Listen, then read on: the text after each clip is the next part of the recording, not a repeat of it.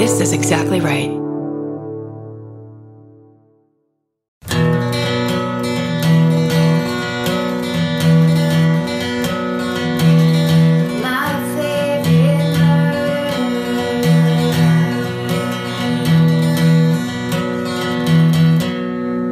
Hello. Hello and welcome. This is my favorite murder. The mini-sode. We read you your shit back. And you. you love it. Happy Golden Globes, Georgia. I thought Oh, we'd be thank you. topical. You're How did welcome. you know Oh, I could just tell in That your I'm- eyes that I'm what? Just that you're wearing this insane gown. I, guys, I don't know where she got this thing, but it looks amazing. Listen, I'm stopping here on my way to the Golden Globes, and then I'll win. It's a salmon sequined millennial pink chiffon gown that America can't stop talking about. I need that Yeah, immediately. you're going to. You're and I need somewhere. America to talk about me. Ferrera, only America. Ferrera. I need her to not stop talking about me. America, we heard what you said about Yeah. Georgia, and we love it. Love it. Millennial Pink is in. Girl, thank you for your support. Okay, read a story. Okay, let's get serious on Golden Globes night. Can you tell we've had our most imp- Golden Globes wine? The most important night of the year. Karen's had her Golden Globe coffee. Oh. I've had my Golden Globe champagne. Steven's on all his Golden Globe Adderall. We're going to do this show as quickly as possible. We also just opened a box from um, like a gift box that we had gotten from a while ago, and there's a ton of fucking chocolate in it. And Yes. I've been eating it. Go. Yes, here we go. Okay. This one goes out to you, Mounds and Almond Joy, not sponsored. The subject line of this is food court stabbing. We're kicked off. Great. Hi, Karen, Georgia, Steven, and pets. My name is Sarah, and I'm 18, and I'm from Australia. that wasn't. That was not. Go again. I was gonna try to. Hello, my name's Sarah. I'm 18, and I'm from Australia. There no, we go. We're too No, far away. I. I can't do Australia anymore. Around two years ago, I was just louder, and my voice went up. Australia. and I made a terrible face. Around two years ago, I traveled to America as part of a school exchange program, and I lived with a host family in Seattle. My host family were amazing and showed me the best of Seattle and also kind of the worst. Haha. Oh. One day, my host sisters took me to Alderwood Mall to see the film La La Land, after which we then went shopping. Whilst in Urban Outfitters. Whilst in Urban Outfitters is the name of my new play. Whilst in Urban Outfitters, people in the food court opposite us got up and ran in a sea of panic. That's what you want to see. right? In a mall. When you're fresh here from Australia, uh, dropping trays of food and personal belongings. No. My host sisters immediately thought there was a celebrity in the center. when my first thought was, holy shit, we're all going to get shot. Yep. As this is typically the main thing that we see on the news about America in Australia. You're Yeah. not wrong. That's what we see too. That's what we see uh, now weekly, and we're used to it, and it's a nightmare. Uh huh. Let's change that soon, please. yes. Can't do it now. Okay. It's Golden Globes Golden night. Globes. It's the best night of the year. Please don't ruin it with gun control. No, let's ruin it with gun control. It's the best night of the year. but what about the Obies? It's the only night Karen feels any joy in her fucking life. Is the Globe. It's the Globies. Uh, we were then ushered into the back stockroom of Urban Outfitters where half the people were having panic attacks. Jesus. the ones wearing leather hats, and the other half were completely nonchalant about the situation. B- They were Tweeting. pretending to be. They were on Xanax. All I was thinking was, fuck, someone's going to bust down the door, shoot me, and La La Land is the last movie I will have ever seen. you have to keep this in mind Oh, when you're going to pick your movie. is this the last movie I've what if it's the last one you'll ever see? truly? What's yours right now? That it that it should be? No, no, that it was Oh, um in theater in theaters. In a theater, yeah, it should be. So mine would be Mary Poppins. I don't mind Oh. that. Did you see it? No, I don't see movies. Uh, I don't. I- sound like an asshole. Genuinely and sincerely recommend Mary Poppins. It was a feel good, bust out hit. Amazing. And great songs. Love it. And Emily Blunt, you cannot Darling. scratch her. She is perfection. Perfect. She's an amazing actress. She has a British accent. Yeah. She has a great face. She can have blonde hair. She can have brown hair. She can have red hair. she was in that Live, Die, Repeat movie with Tom Cruise. America loves her. And now America Ferrera. America Ferrera. She is in the top five of America Ferrera's favorites. best friends. Can you tell I've a ton, I've a ton of coffee? Yeah. Okay, ready. okay. Uh, all I was thinking, okay, that. The nice employee looking after us all said to me, sweetie, you should call your parents. Okay, I'm going to sidebar this really quick. Uh, you like that. No, no, no. I just that's sweet. Yes, it is. And horrifying. Yeah. Um, if you're an adult, especially woman to woman, this is my personal preference. So obviously take this with a grain of salt, which no one seems to ever be able to do. um, do not call other women your age, sweetie. Do Oh. not call women older than you, sweetie. No, don't It use is- the word sweetie. So fucking i- unnecessarily condescending It is. and rarely sincere. So if you're just trying to look for a way to kick off a sentence, look and listen work great. We will highly recommend that to you. Absolutely. The word sweetie, just don't. Just don't. How about baby girl? How about what up, ho? hey, baby girl. hey, baby girl. Oh, baby. Sweetie, I literally, uh, one of my old jobs, somebody was passing around a card for a girl that got a job somewhere else that was like a promotion. So they're like, we're sending around this card and you put in a piece Why? of Just advice. say goodbye. I know. But it was one of those things where we're all mm-hmm. best friends. Put in a piece of advice for her to leave with. And I, because this girl did it every single day, I wrote, stop calling people older than you, sweetie. And everybody had that reaction. I'm like, I thought we were giving advice. We need to, this is the kind of advice where if I met you and you did that, I would immediately, there would just be a spiritual line crossed you. through your name permanently. you. Don't do it. No, You're not, you're not going to get the higher ground because you're being condescending. no. I've been called it, and I'm immediately a cunt to whoever calls me that. Right? Immediately. Very similar And to, I'm never fucking rude to like p- people in public. right. But if you call me sweetie, I want to punch you in the face. It's a posture. Yeah. And if you are a sincere person and you are like, but I'm trying to convey love, g- go ahead and convey love and don't use condescending use words. baby girl, anything. well, I'm trying to I'm trying to push my baby girl agenda on everyone. When did you come up with this agenda? The new year? This very moment in time. That's how good I am. Let's get baby girl going, everybody. um, okay. So she said to me, sweetie, and also that's the only way you can say it. Sweetie, you should call your parents. sweetie. As if to say you may not see them again, to which I replied, not going to happen. They're in Australia and I do not want to give my mother a heart attack. Yeah. Hells yeah. After waiting an hour, the police came to let us out. I asked the woman next to me if she knew what had happened, to which she replied, uh, I don't know. Apparently someone got stabbed. Turns out someone did get stabbed whilst trying, whilst again, whilst trying to break up a food fight. Or no, sorry. A No, fight. wait. A fight. I want to keep food fight. Sorry. Can we keep food fight in there? Sweetie, we can't. baby girl, do not talk to me like that. Those are our new nicknames, sweetie and baby girl. Everyone's like, what? They're the same. Why, do, why is one upset and one not upset? Um, Steven is home. It's a fight between a food court employee and a disgruntled customer who was apparently unsatisfied with the amount of cheese he had with his meal. Luckily, the man, the food court employee, was okay and the stabber was arrested. Stay sexy and don't get stabbed in the food court, Sarah. Holy shit. Yes. Yeah, that was a, I loved that. I mean, if you're going to get in a fight about anything, it should be cheese and then not enough of it in the world. There's never enough on anything. Truly. There was a little while when I was deep, deep into my eating disorder Mm-hmm. and ordering Oh my God. like the secret, the dirty secret of it. Mm-hmm. You should see how big Georgia's eyes just got. Because I'm so excited to hear about your the the like the details of your eating. Everyone's eating disorders like a snowflake. It's uh, right. It's, just so- like a personal Yeah, journey. What was your fucked up thing? yeah, it's like vein, the veins in your body, but it's your own, the rivers of history inside of you. Absolutely. So it's me in the Burger King drive through because to me, Burger King is the dirtiest of all the fast foods because it's like, there's some, it's very chemically, it's big and sloppy. See, I think Jack in the Box is that. really? Trash. Because you can go at like four in the morning. Yeah, it's trash food. Uh, Car- Carl's Jr. is the top tippity top of the fucking classiest, and I'm obsessed with it. I love it so much. I want to cry. I love it so much. And then Jack in the Box is like the trash heap bottom. Okay, can you just tell me where Wendy's, Burger King, and McDonald's go in between? We're doing top five. Okay, so at, from the top, Carl's Jr. Underneath that, uh, Taco Bell, Okay, yes. and then Put in your own five, baby girl.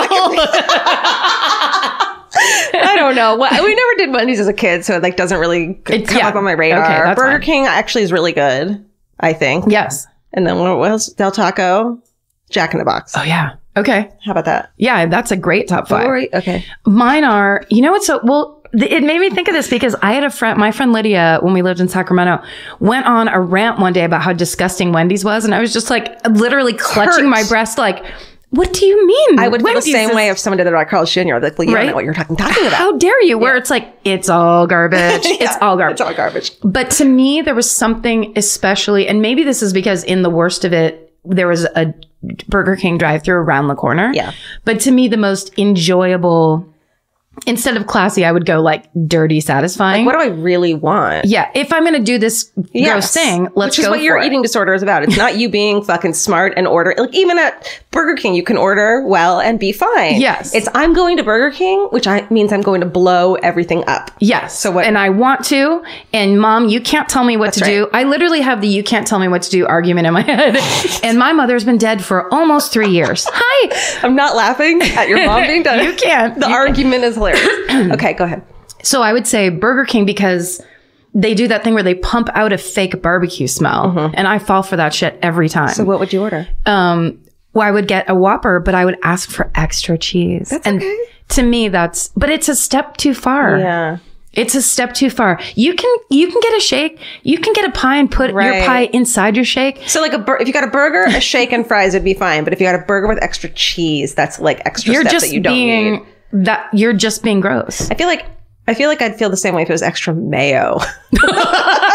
Which on extra cheese, I'm okay with. you are Yeah, I think that- you really like the cheese part. love it. Then that's fine. It's what I'm there for. you're basic. li- Listen, you're getting a double cheeseburger without the extra meat. That's right. I'm saving saving on all those. Yeah, you're not getting the, the extra protein that you need. Western bacon cheeseburger. God damn, this is a satisfying conversation. yes. Coke, fucking barbecue sauce. Yes. What? Okay, Steven, you might not know this, but when we are on the road, every once in a while, we'll get wonderful, very healthy dinners to take home back to the hotel with us. But Yeah. sometimes nothing's open or we can't.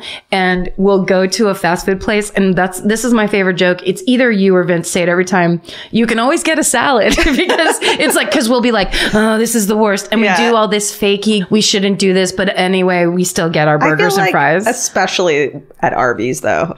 yes. Like that, I can't. Okay, but this isn't an episode. this is a mini. We'll stop it at Arby's. Uh, Arby's, we apologize. Listen, if Arby's wants to do ads here, though, it's totally fine. Listen, I love a big beef and cheddar, and you cannot get fucking curly fries like that anywhere else. That's right. We, have the beef. Horsey sauce. Horsey sauce. Horsey sauce.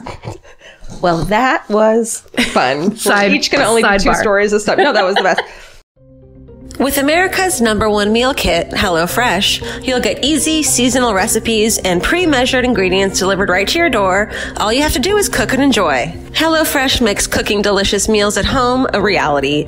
From step-by-step recipes to pre-measured ingredients, you'll have everything you need to get a wow-worthy dinner on the table in about 30 minutes. Say goodbye to endless grocery store trips and takeout. HelloFresh has you covered. There's something for everyone, from family recipes to calorie smart and vegetarian, and fun menu series like Hall of Fame and, and craft burgers. HelloFresh has more five-star recipes than any other meal kit, so you'll know you're getting something incredible. HelloFresh is flexible and it fits your lifestyle. Easily change your delivery days, food preferences, and skip a week whenever you need. Break out of your dinner rut and make deliciousness part of every week with HelloFresh.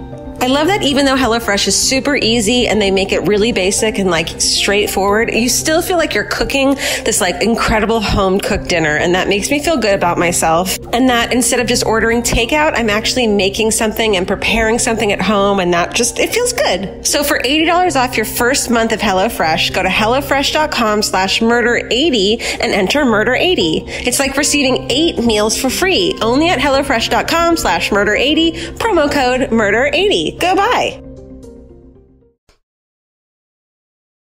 All right. Remember, um, like a year ago, I, or maybe even more, I was yelling about locking your door no matter what, even when you were going to do laundry down the hallway in your apartment. I would honestly say that's one of the first rants you ever did on this show. Really? I would say it's over two years ago. Well, I don't know anything about time. because I remembered you doing that in your old apartment. Yeah. Steven's gonna fucking find it. He's and already there's a on his photo of him, like, so, because there was a guy in Echo Park and he got into an apartment building and a couple he just like started trying to open doors and there were some unlocked doors and they said that it was from gir- like women who were going to do their laundry and even my dad to this day like when he stays at my apartment he alone he locks the door and he says cuz he listened to that episode Yes. okay What was episode 29? wow that was like a million years ago Can you? My hair was so much longer. well this is called Didn't lock my front door while doing laundry slash Echo Park. Oh shit! Is this ground 0 Uh-huh. Hello all, Caitlin here. Yep, I was one of the me- oh, I was one of many women that got attacked from this creep. Fortunately, I have a solid scream. Oh fuck! Doing laundry one afternoon, I shuffled to the elevator of my roommate and I's three-story apartment complex to grab uh, my clothes out of the dryer. I didn't think twice about locking my doors. We live in a building with locked doors, uh, and you had to have a code to get in. As I was coming back, uh, I got to my door and noticed it was cracked open. Inside was a man I'd never seen before, wearing a Virgin Mary shirt. Fucking fucker, hiding behind my door. I honestly had thought it was my roommate at first coming home, but no. This crazy fucker put his hand over my mouth and pushed me up against my front door, shutting it.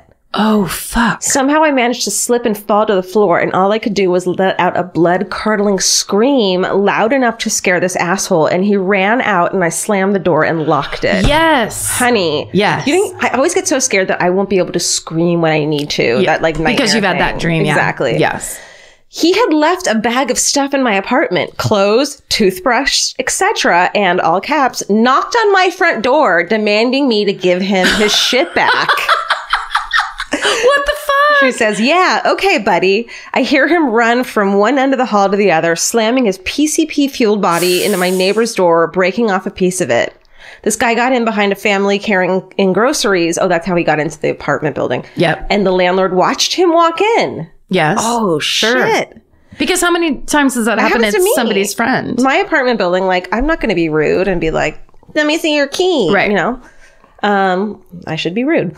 It was fucking scary. I had to go through this whole ordeal with the police, made a formal statement with the district attorney, identify him. He attacked probably 10 other women, and some were not as fortunate as I was. Oh, no. I, I had even heard he had a knife on him. It makes me sick to think of what would have happened. I should have known better. My mom raised my siblings and I to be murderinos, not talking to strangers, code words, don't answer the front door when uh, she'd be in the shower, and most importantly, to scream. So you did know better. Yes, you did. fucking did one You of those did an things your amazing mom job. taught you, and you should be fucking proud of yourself. yeah. Do not, do not beat yourself up. No. Uh, I was literally shaking when I heard you guys talk about it on your most recent episode, Origins. Like that Oh, up, right? yeah. Thanks for the laughs, laughs and gasps. SSDGM and always lock your fucking door, Caitlin. Caitlin. Oh my god! I'm so glad that turned out the way it did. yeah. And Uh, also, even if it, you know it, the attack had happened, it's you're still not. Uh, you still didn't should not have known better. It's, It's not, your, fault. That- it is the crazy man's fault. Exactly. A hundred percent. Exactly. You didn't invite it. You didn't do anything wrong. I mean, that's a mistake we made early on because we were giving this advice of like, you got to do this and you got to do that. And we got reached out to by a victims rights group that was just like, can you watch that language? Because when it happens to people, that's the first thing they do is Yeah. beat I themselves should have up. done this. I knew better. Yeah. And it's Which- like, no, motherfucker. Yeah. The, the person that is entirely responsible and guilty is the person who perpetrated the crime. exactly. The creep in the Virgin Mary shirt. It's so Have awful. you seen his photo? No. Okay, Steven, can you? There's like a security photo of it. Put it on Instagram. Also, someone behind your door is very like basic nightmare. Hundred percent. Okay. Um, um. The subject line of this is I know someone who is at Richard Speck's deathbed. Amazing. Heyo, Karen and Georgia and Steven. I went home for Christmas last week, which is in the Chicagoland area. While at breakfast one morning, my uncle's in-laws and I were talking about death over coffee, as one does at 7:30 a.m. naturally. I made a comment that I don't want to go out. Oh, I don't want to go out boringly. Got it. Because I feel I that do. every night. I don't want to go out boringly. I want to go out boringly. Truly. Um, that, of course, led to this discussion of murder when my uncle's mother-in-law very casually said, I took care of Richard Speck when I was a nurse. Oh my god. After a little bit of shocked blubbering on my part, she elaborated that she worked in ICU at Silver Cross in Joliet, Illinois, and they had the contract with Statesville Prison. She and another nurse got word of a prisoner who was having chest pain. They were told his name was El, um, Elbazar Massa, but That's soon not real. that's not real at all. But soon after they heard through the grapevine that was actually Richard Speck and he uh, was allowed to choose a different name because he was afraid the nurses would hurt him if they knew who he was. Yeah, because he murdered a bunch of nurses. Yes, he did. Holy shit. He came in with two guards because he was so afraid of them. she said, quote, Creepy guy, very pale, lots of prison tats, skin was cold like a snake. Ugh. Later that night, he had a heart attack. While they were trying to resuscitate him, she counted eight nurses in the room, as well as a, lot of other personnel. They talked about who would play each of them in the movie. um, she, of course, said her character would be played by Molly Ringwald. Yes. But she also made the point to say that joking about this was bad behavior, but it didn't change their efforts in resuscitating him. Alas, the sucker died. Sayonara. Stay sexy and don't bite the hand that feeds you. Jasmine. God damn! Isn't that amazing? Yes. Yeah. Don't bite the hand. Bite the hand that's gonna fucking take care of you on that's your like, deathbed. uh, uh, you uh, uh. dick. There was a bunch of pictures like that when um, a lot of the Black Lives Matter like protests started happening. Uh-huh. Have you ever seen those ones where it's like an ER, a black ER doctor that's resuscitating a Nazi? Yes. I mean, it is, and it's just like, and the Who's majority. going to come to your fucking aid, dude? Yeah. You're gonna be like, no, I'm I'm racist at that moment. Of course you're not. it's no, of course you're not. And also because in that moment, you're truly, you're the most fragile of your humanity, which you actually are all the time. And you don't understand that. You do. It, it's too scary to understand that. Yes. So you're so you're raging like a child, like a child with a temper tantrum, and you're you're putting your violence on everybody Right. else. But suddenly you're hu- you're human. You're a human. and someone else is human and is going to help you. a really, really fucking smart human had who had to work twice as hard as everybody else to get where they were, Yeah. and they're not going to fuck their so shit up. And it's so kind that they don't give a shit what you were just screaming. Right. Well, they probably do, but they'll save it till they get home. Yeah. I hope everyone's learned a lesson about my uh, racial equality issues. Okay, I'm gonna do one more. Do it because I have one more too that's really short and Great, fun. let's do it. Okay, this one's called "My Mom's Ex-Husband Tried to Blow Her Up." What? Hi, ladies, Stephen and animals. Hi. Hi. My mom was married for less than a year before she met my dad. I, it should have been no big deal, but in classic my mom fashion, she hid her first marriage from me and my sister until my sister found her wedding photos while rummaging through a drawer in my grandma's house. I love that she uses the word rummaging and not snooping. Yeah. Like, I was just rummaging through my grandma's underwear drawer. You know how you like to do. I was looking for. I wanted a sachet of lavender, but instead I found my mom's secret wedding photos. My sister threatened to tell me everything. She's a bitch like that. this this has everything. So my mom casually mentioned it to me one Christmas Eve when I was in high school. She literally said, "By the way, I was married before your father. Let's not get into it." that sounds like something my mom would say. Yes. And wouldn't answer any of my questions about it, thus cementing all of my many trust issues. Anyway, the whole story, which finally emerged years later after a few dirty martinis, oh man, always does, is that my mom left her first husband after discovering he was having sex with other men he found through personal ads. He was init- he uh, initially confessed to being gay and was okay with uh, them splitting up. But then he started to worry that his family would question his sexual orientation if he told them about the divorce. Then shit got weird. He started stalking my mom and threatening her, begging her to recon- uh, reconcile. She told him she would never out him to anyone, but that obviously she couldn't stay in the marriage. One day, while driving down PCH after a scuba diving lesson in Long Beach, as one As does, do. my mom's car suddenly caught fire and filled with smoke. She passed out from smoke inhalation and woke up on the side of the highway surrounded by firefighters. As she tells it, this also sounds like my mom. She was wearing a rather skimpy bikini, and the firefighters seemed very impressed with her darling figure. And then she writes, This detail seems more important to her than the fact that she was almost incinerated. Darling figure Uh-huh. again. also, driving in your bikini. Yeah, that's right. You don't even throw a shirt on. It's the 70s. yeah. Uh, it turned out her car had been rigged to ensure it would explode, but it didn't blow up as intended and just caught fire. Fuck. She always suspected it was her ex, as he was an engineer with lots of mechanical knowledge. Months But, but not too much. not enough. Thank God. Months later, he sent her a letter confessing to everything. I asked her why she didn't get a restraining order or go to the police at this point, and she simply replied, It was the 70s. I couldn't. I had my bikini on. I couldn't. My darling figure wouldn't let me. Would cause too many problems. That's right. After the car incident, my mom said her ex continued to send her letters and even followed her a few times, but eventually stopped for some own unknown reason. No big deal. Moral of the story: the '70s were a crazy time, and I'm immensely grateful my mom didn't get blown up or otherwise murdered, and eventually got to have an amazing, loving marriage to my dad. Nice. Thanks so much for all that you do, ladies. You've helped me get through a brutal breakup and have made lots of lonely, wine drenched drenched nights feel a little more fulfilling. Nice. Stay sexy and go to the police if your ex tries to blow up your car. Shelly. Good advice, Shelly. Shelly, you are not wrong. I can't stop picturing scuba lessons in Long Beach. If you've ever been to Long Beach, it's one of the more, it's slightly industrial and right off the coast because there's a dog beach that I take Oh, my dogs yeah. to there sometimes, Rosie's Dog Beach. There's oil derricks Yeah, yeah. or whatever you call them, like right off the coast. Yeah. It's not like you're in Maui.